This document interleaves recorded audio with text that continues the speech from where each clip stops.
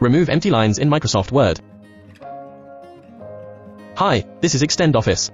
Empty lines can make the document look cluttered. The two most common causes are paragraph marks, created by pressing the Enter key, and manual line breaks, inserted using Shift and Enter. To remove all empty lines created by consecutive paragraph marks. On the Home tab, click Replace. Click the More button to expand more options. From the special pull-down menu, select Paragraph Mark. Copy the inserted special mark and paste it again in the Find What box to search for two consecutive paragraph marks. Then, paste a single paragraph mark into the Replace with box. This merges two consecutive paragraphs into one. Click the Replace All button repeatedly until it displays, we made zero replacements, to remove all blank lines created by paragraph marks from the document. To remove all empty lines created by consecutive manual line breaks. From the special pull-down menu, select Manual Line Break. And copy and paste another manual line break in the Find field.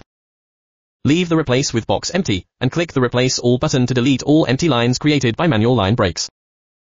You may also notice a blank line, created by a combination of a manual line break and a paragraph mark. Enter both marks in the order they appear into the Find What box, and replace them with the desired mark, such as a paragraph mark, to remove the extra blank line.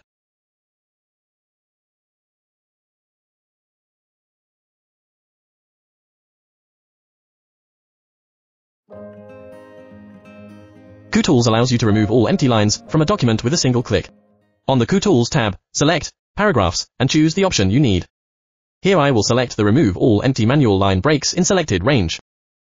In the pop-up dialog, click Yes, and all empty lines made by manual line breaks in the document are removed at once. Note that if you only want to remove empty lines in a specific section, select the section first before applying this feature. To download KuTools for Word, find the download link in the video description or on our website. Thanks for watching.